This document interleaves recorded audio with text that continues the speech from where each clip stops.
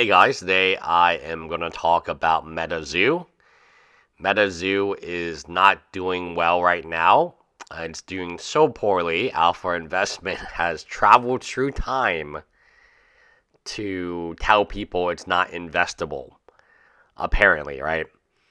Um, MetaZoo is on the brink of collapse. Um, a lot of news is coming out why the artists have left a lot of news about their CEO, Andy Son, is very, very disturbing. I would even go and say that uh, it is a company that you should not want to work for and you cannot support because supporting this company supports uh, essentially a corrupt, uh, in my opinion, a very corrupt organization, ethically bankrupt. And this is, they're supposedly making children's card games. This is pretty ridiculous in my uh, per- personal opinion. It's not something that I would ever recommend you buying into this. So the problem with MetaZoo is the people around it are very shady individuals. They don't really care about the player base. Uh, they still haven't paid their champion money, which is unheard of you know, in one of the things they promised was they would pay them in 2023. They never made a attempt. And like I said, I knew they weren't going to pay them because why announce that you're going to pay them? If you pay them, wouldn't you just pay them and announce that you already paid them? Why announce that they are going to be paid? Just pay them, right? I mean, $20,000 of cash and $30,000 of product isn't that big for this big anime and the video games and the backpacks and the Rudy signs and and I'm gonna get to Rudy's. Uh, I'm gonna get to Rudy's thing right now. I think I want to really emphasize a few different points here. The money you spent on this card game could have been spent on anything else, uh, including helping your life, including um, it is surprising and shocking and even a little bit bizarre, right? When you have to backtrack on what clearly there are emails, there are videos, there are things indicating that you did believe this was an investment, especially when you put your own stamp on it, your own promo cards, your own playmat and even to the 6.9 box, which was essentially just a MetaZoo box, right, in disguise. So why would you be promoting? I mean, Alpha Investments. There you go. That, that's the name of the channel. It is very difficult to then warm your way out and say, you know what, I, I wasn't giving investment advice, right? You're charging premiums. You're charging all this stuff. MetaZoo, I hope, is a lesson to a lot of people that this is, in my opinion, it's a pump and dump, and in my opinion, it's a scam. It was represented as something that it's not. It was never an investment opportunity as Alpha Investment admits today, but it was sold to the poor Timmies as one. And these poor Timmies are not super rich people.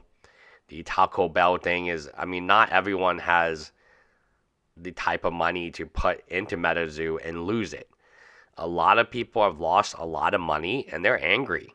And they have, in my opinion, every right to be angry at Alpha Investments. This channel was basically dead until recently. And I think the shift is in the reality of obviously we only made content about one dude, Alpha Investment. It is crazy, in my opinion, some of the stuff that Alpha Investment was able to get away with it was crazy, in my opinion, for some of the individuals who have invested so much money. They're very angry. And the one thing in business you never want to do is have angry people or angry former customers. You have to be realistic, you have to be honest, you have to be transparent because I think MetaZoo is the end of alpha investments the stress is getting towards him. You can tell. Um, it's no longer as fun, right, to sell these memes and sell these things. He's no longer as arrogant as he is before.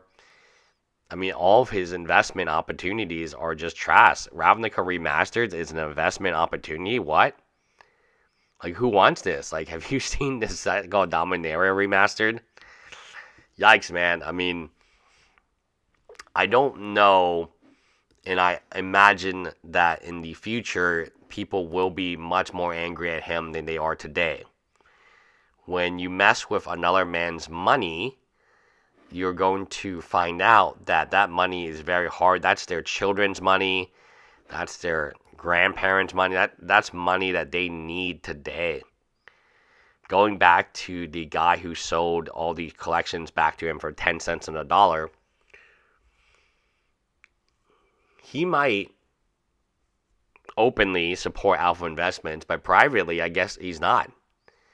Privately, when you get ripped off for this amount of money, you know, MetaZoo, he's never bought MetaZoo. He's never bought singles, collector's cards. He's never bought anything from this game. He's only sold it. And when he was selling MetaZoo and not buying it, he was buying uh, reserve list cards. He was like, he never he doesn't buy Ravnica Remat. He's he's buying reserve lists. Like, guys, let's let's be 100% honest here. He never wanted to buy this stuff. He only wa- wanted to sell it. I mean, isn't that very concerning?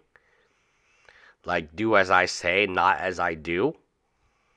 So, if you want to be alpha investment, what you need to do is you need to buy the stuff he's buying and sell the stuff he's selling.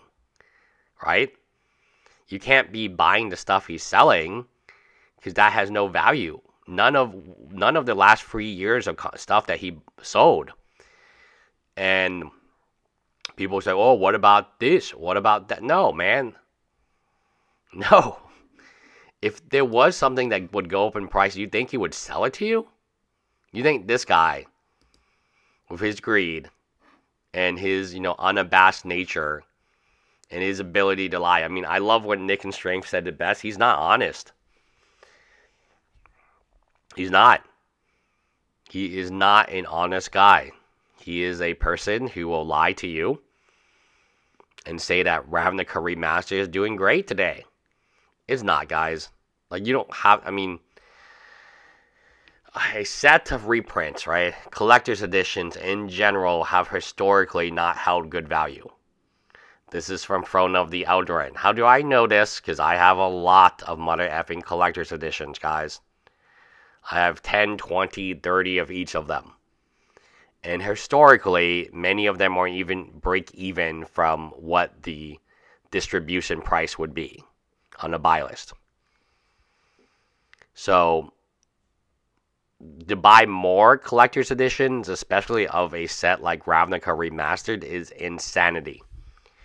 Buy these singles, buy the collections if you need to. Like, he ain't going to ever tell you this. You buy these singles, guys. You buy these singles. Anyway, that's it. Bye, guys.